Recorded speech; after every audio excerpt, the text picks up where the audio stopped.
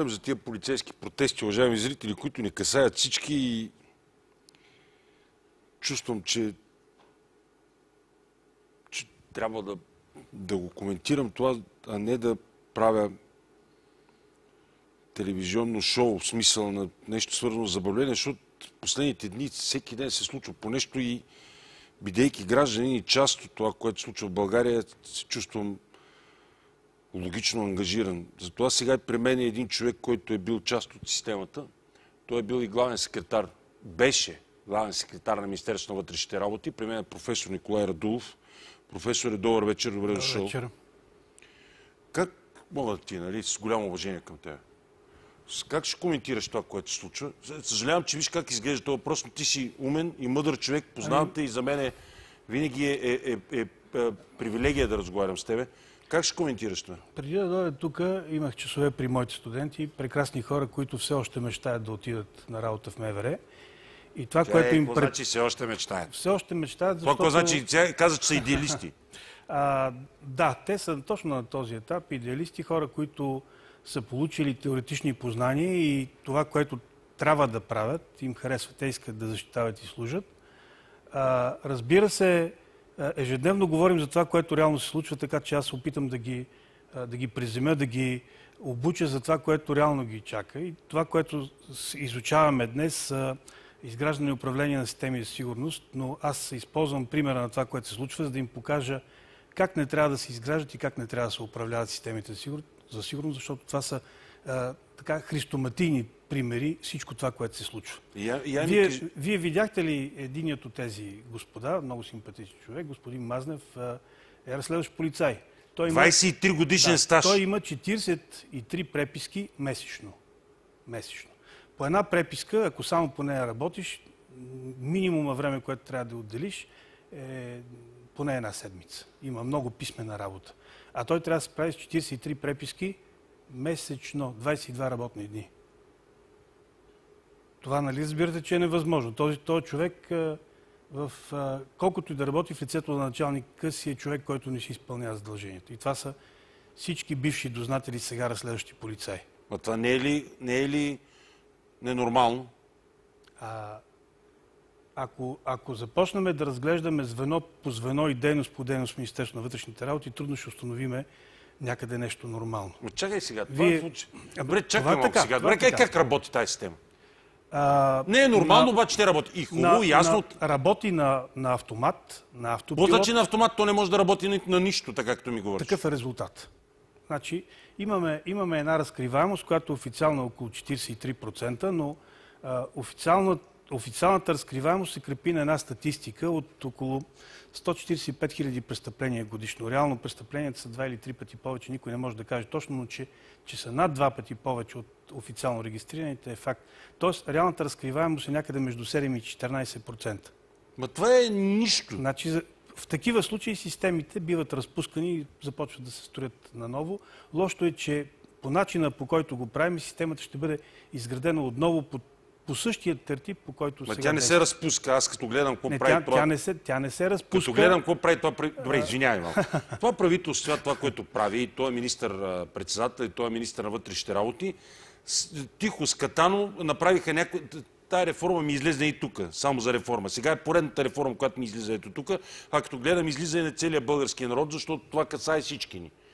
И, и това не ми изглежда ефективно, бе, професоре. Значи, реформата, реформата не може да се състои нито в увеличаване, нито в намаляване на заплащане. Това не е реформа.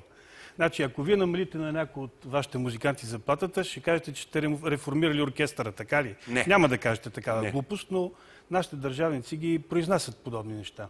А, истината е, че а, колегите се затрудиха да ви кажат колко е администрацията, но, но тя е а, между една четвърт до една трета. Тоест, една трета от служителите на МВР са администрация. Тази една трета обаче харчи 49% от фонд работна заплата. Тоест, ако фонд работна заплата е 800 милиона, администрацията харчи 390 милиона. Ако намалим администрацията на половина, ние можем да имаме действаща администрация в рамките на една трета от нея, то ще спестиме колко? Между, между 150 и 250 милиона. Ето ви 250 милиона, не 25 милиона от нещастните обещетения на служителите, които Добре, излизат... Защо не намаляват администрация, като е толкова просто, Ами, бе, професор? Защото не, то е просто и, и дори а, последният министр, който си подаде оставката многократно, изговори какъв е, каква е рецептата. Тя е проста, но ти не можеш да мръднеш никой от администрацията, тъй като на Държавен този, служител на по този закона човек, за значи, той е държавен човек, обаче държавен служител, обаче ако има а, промяна на структурата, това не може да го защити. Ще му предложиш друга работа пак на държавен служител. Въпросът е, че тези служители работят малко, водят се големи експерти и един такъв служител взима колкото 4 служителя в районното управление. Значи, нали разбирате, че като махнеме 10 чиновника, на тяхно можем, място можем да назначиме 30-40 полицая с униформа на улицата. Ето, ето откъде ще дойдат а, тези полицаи, които все казваме, че липсват. А И те не го правят? Защото не искат. Защото ако пипнеш ето този тук, твоята жена, която е в администрацията на Министерство на а, економиката, ще бъде махната от там.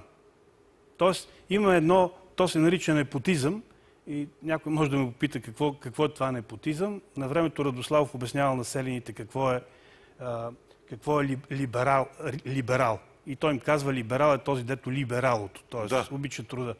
Аз като ме питат журналисти, защото... Какво е непотизъм? Да, какво е непотизъм, аз казвам и това е, когато някой е назначен на място, където не се поти. И те го взимат за чиста монета, защото им звучи вярно. Но истината е, че става дума за един а, римски чиновник, който се казва Непот, като взел място на власт, назначил всичките си роднини на всички места около него. Това се случва и в Министерството на вътрешните работи, и във всички други министерства. Всъщност, картината, която виждаме в Министерство на вътрешните работи ни изглежда отчаяваща, се повтаря всички министерства. Просто Министерство на вътрешните работи е по-в фокуса на прожектора. Така че има, има откъде да се вземат парите и то не от тия жалки 20 заплати, но никой не ще да барни администрацията. Администрацията може да остане една трета от, от сегашният си брой и да върши същата работа по-стегнато, с повече хъс и дори с по-малка заплата. Не е необходимо чиновниците, които, идват- сутрин в 8 и си тръгват в 5.30, да са първа категория труд, че те да не са миньори или те са миньори на умствения труд, нещо. Копаят там в едни папки. Добре, ама сега, крайна сметка, тази ситуация е стигнала до стигнала до протести на, на, на полицаи, които за- за- затварят кръстовища, въоръжени и казват, ай, извикайте полиция. Ами, И, и, и в крайна сметка министър-председателя, ма той наистина колко интересно, как се прави на луд. Нали? Той е министър-председател, пък сега все едно не е знаел за цялата тази история, която се взима наистина в петък по милиционерски следобят вечерта. И въобще и днеска излиза да излезе. Аз мислех, между другото, че той ще излезе като ще разреши проблема, защото той обича така, нали, да излезе да разреши проблема, ама не се получи по този начин. И тия протести продължават и като слушам тия момчета, няма и да спрат. а, странно е, но и аз мислех точно така, защото това е точно в неговия стил, като, Да. като спасител, като човек, който се. излиза от тази среда, излиза и казва, момчета, аз, аз ви помогнах, аз оправих нещата, Да. но, но очевидно сега това, което се прави е от всякъде, откъдето може да се, да се спестат едни пари, за да послужат за нещо друго. Не знам за какво. И за може какво? за, за полагане на асфалт. Ако се съберат 500 милиона, ще се направи едно шосе.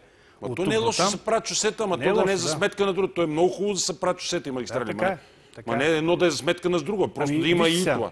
А, ние от, от колко години стана вече, а, говорим за това как сме на едно от първите места в света по брой полицаи на, на глава от населението.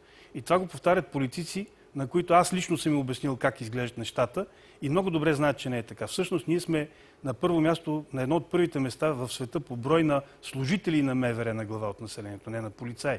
Другите хора си борят полицаите, ние, ние броиме целокупното МВР, колкото там, 54 хиляди или повече, или 40 и няколко хиляди, или, независимо от това кога каква е била цифрата, конкрет, конкретният брой на, на служителите на МВР. А, и аз трябва да ви кажа, че някога работех в това управление, което се занимава с кадрите.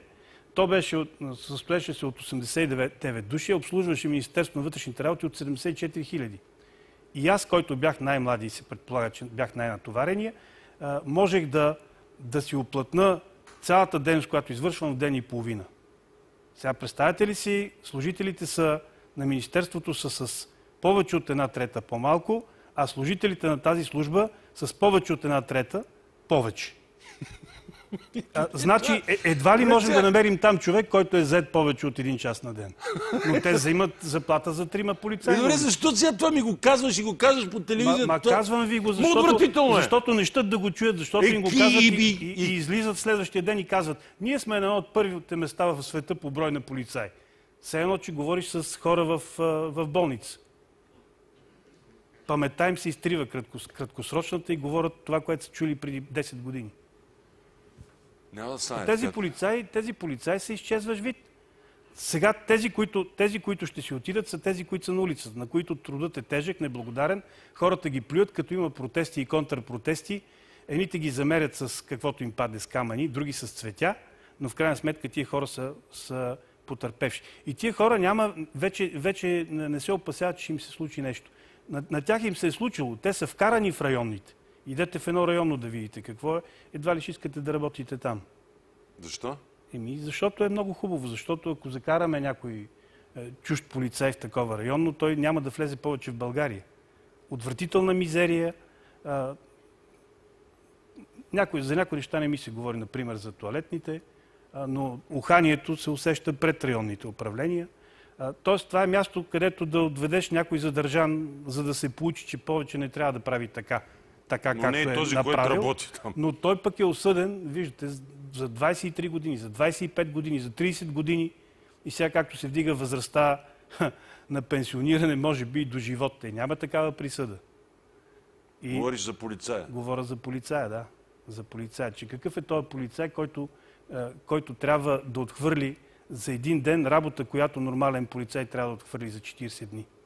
Че, нали се сещате, че това няма как да е качествена работа.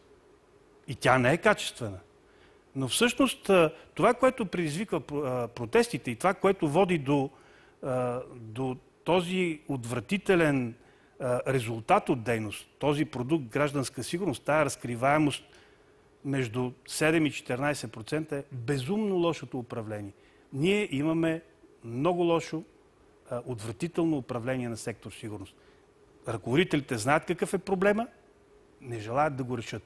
Всеки път, когато стане дума за този проблем, те казват, да, почваме да съкръщаваме, ще чиновниците. Така се случи и при Цвети Йовчев. Аз ще ги съкрата, да, това е проблема. И не само той, други министри го казаха.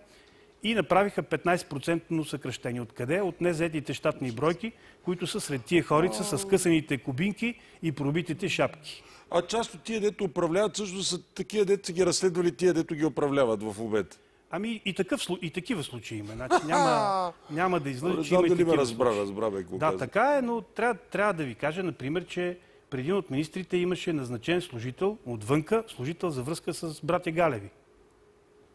Такъв служител имаше и поне се дигна скандал в медиите и го уволних. Беше 4-5 дни служител във вътрешна сигурност. Аз продължавам ти говоря на ти, ти говориш е, да ви кажа, моля те се говори Аз, ми на аз ти, казвам да ви кажа, защото да, говорим да на казваш на всички зрителите. на аудиторията. Да, Благодаря така ти, е. защото така толкова невъзпитано се почувствах. Изведнъж ти си толкова умен и, и свестен мъж. А, и, и как се казва в а, една книга а, на Чернишевски, преведена на български, и Кош Премса? Ами, сега а, тези, които са си подали рапортите за пенсиониране, вече не зависи от министъра да ги приеме или не. Те ще се пенсионират. Ако това са 7000 души, те ще се пенсионират при сегашните условия. А, значи няма да спечели финансовия министър 25 милиона, вероятно ще трябва да плаща 50 милиона. А, про, лошият проблем, проблемът свързан с лошото управление... А, извинявай, извинявай, че спекам. Що говорим за финансовия министр, като това всъщност го решава министър-председател и той го казва, не го крие. Не, не, не.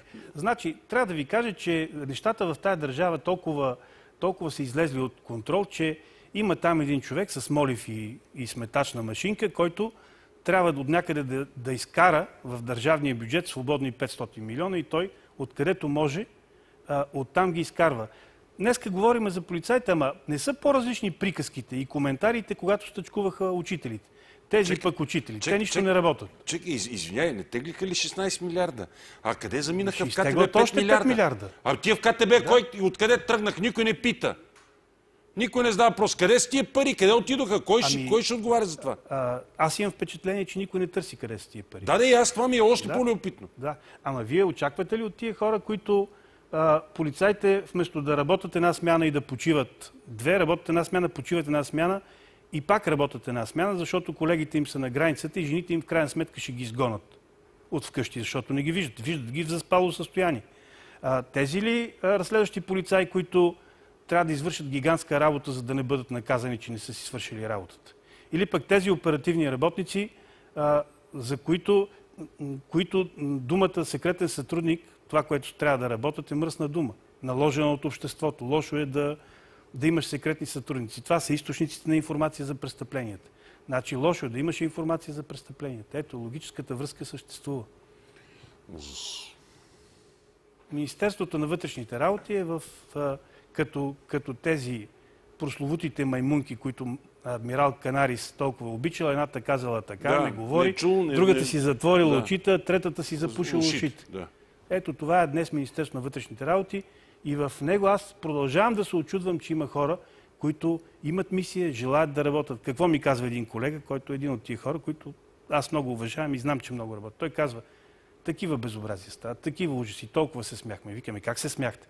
Е, какво да правим? Ние сме мъже, да плачем ли? Уважаеми зрители, свим след малко.